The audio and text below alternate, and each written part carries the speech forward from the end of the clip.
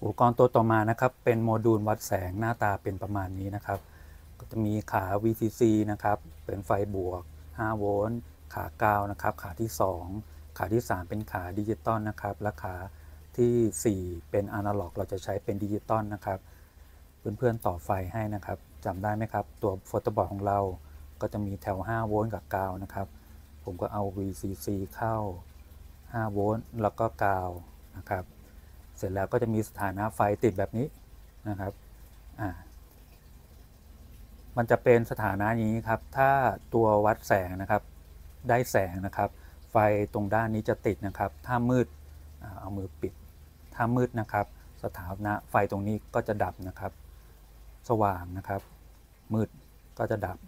ถ้าไม่ได้ตามนี้นะครับ เพื่อนๆหมุนกระป๋องตัวสีฟ้านี้นะครับ ให้ได้ค่าตามนี้นะครับ ความเข้มของแสงก็อยู่ที่ตัวนี้เช่นกันนะครับ หมุนตัวสีน้ำเงินนี้นะครับ โอเค ถ้าเพื่อนๆอยากได้มืดประมาณนี้ก็ได้เช่นกัน หรือจะมืดสนิทเลยก็อยู่ที่ค่าตัวนี้ โอเค พอจะเข้าใจนะครับ ต่อมานะครับ ขาตัวดิจิตอลนะครับ ตัวขาที่ 3 นะครับ สีน้ำตาลนี้นะครับ ไปเข้าที่ Arduino ของเราตัวพินที่ 3 นะครับ P3 นะครับ อเค เดี๋ยวเราไปดูที่โปรแกรมกันนะครับ ตัวโปรแกรมนะครับก็จะคล้ายๆ กับตัวตรวจจับน้ำฝนนะครับ ก็จะมีตัวแปร LDR sensor P3 นี่คือตัวพินที่ Arduino นะครับพอร์ตที่3อ่ามีสร้างตัวแปรขึ้นมา value LDR นะครับเป็นจำนวนเต็มใน voice setup ก็มีประมาณนี้นะครับ ก็เขียนตามได้เลยเนาะแล้วก็ใน voice loop นะครับ ก็จะเอาตัว LDR sensor เนี่ย read ให้กับตัว value นะครับ แล้วก็เอาาตัวนี้มาโชว์ แล้วก็ทำการอัปโหลดนะครับ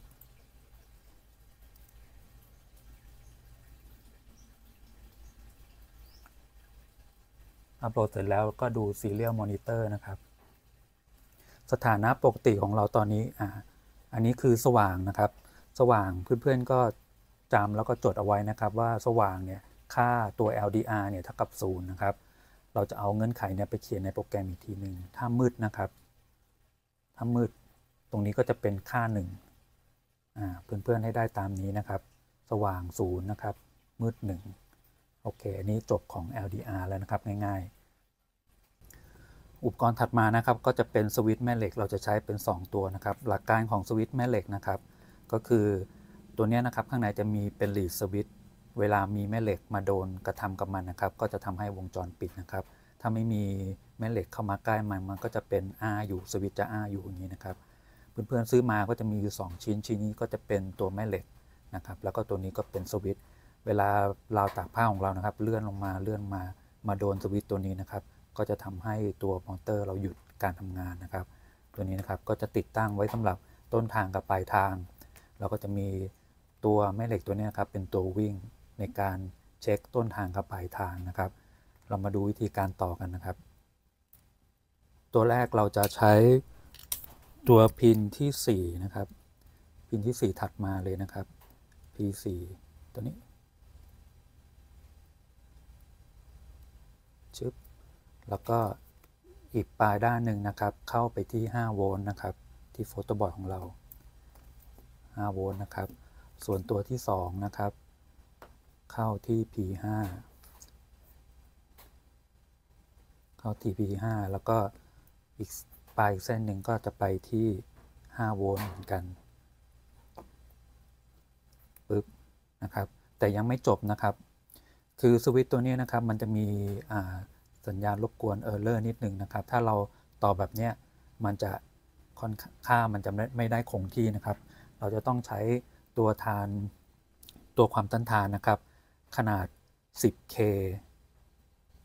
นะครับเพื่อนๆต่อแบบนี้นะครับ ใจเย็นๆนะครับ เอาตัวความต้านทานนะครับ ต่อที่ไฟลบนะครับ ต่อที่ไฟลบ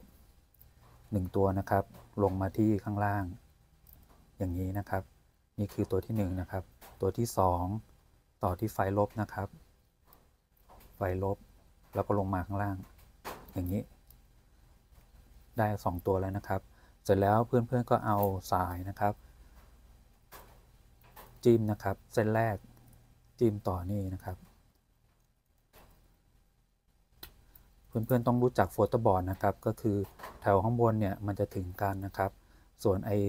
ตารางเยอะๆเนี่ยแถวนี้มันจะถึงกันนะครับถึงกันหมดแล้วก็เอาเส้นนี้นะครับ ต่อเข้านี่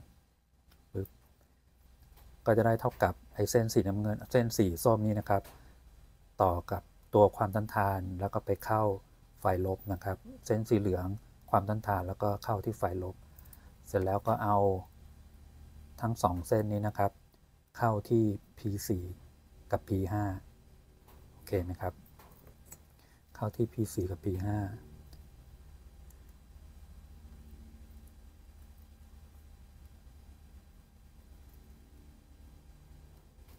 ตัวบอร์ด Arduino ของเพื่อนๆเนี่ยอาจจะต้องมีเป็น 2 แถวนะครับ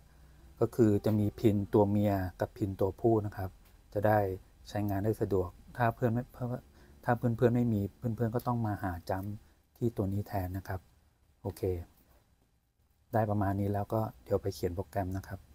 เพื่อนๆก็เขียนโปรแกรมตามนี้เลยนะครับ ก็จะมีสวิตช์ S1 นะครับ ก็คือพินที่ 4 ที่เราต่อนะครับ แล้วก็จะมีสวิตช์2ก็คือพินที่ 5 แล้วก็สร้าง value ตัวแปรขึ้นมานะครับ S1 S2 นะครับ แล้วก็กำหนดให้เป็น input นะครับ เพราะว่าเรารับค่า เข้ามาเข้ามาเป็น input แล้วก็ใช้คำสั่ง digital read นะครับ sw1 ให้ sw1 ให้ sw2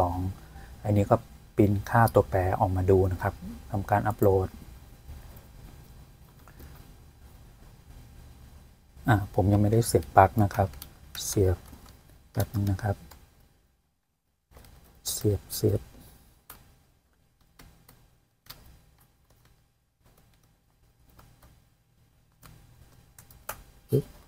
ป้อนไฟให้นะครับ อัปโหลดอีกทีหนึ่ง